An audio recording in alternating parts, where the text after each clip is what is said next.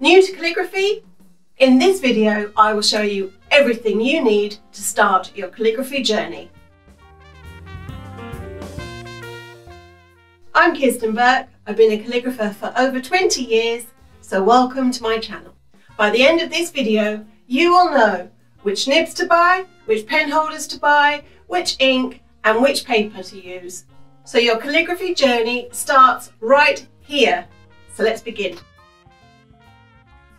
So one, nibs. All sorts of pointed nibs out there so it can be a bit daunting as to which to choose. The most common mistake is to go buy a traditional calligraphy kit and you'll end up with a broad edge nib which is no good for modern calligraphy.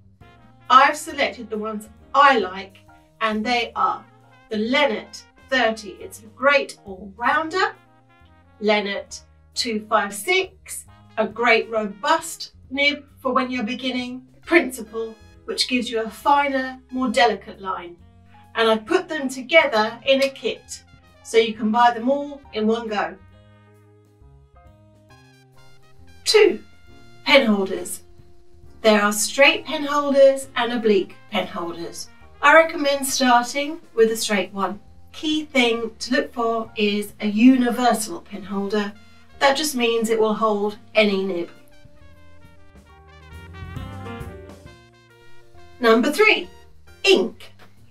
Where do you buy it? Which one's the best for calligraphy? Here's a few that I recommend. Daler-Rowney do a great acrylic ink. Manuscript Chinese ink. Sumi ink Go to my Amazon influencer page and I put everything there in one place.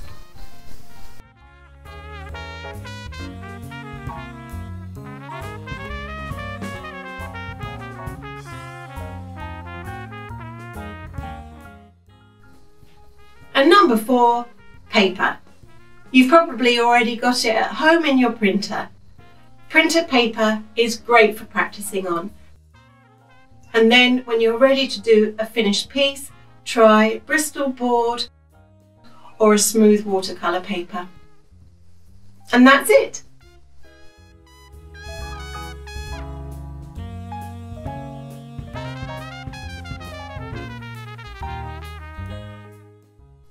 So now you know exactly what you need. Watch out for my next tutorial on how to use it all. I'll see you then.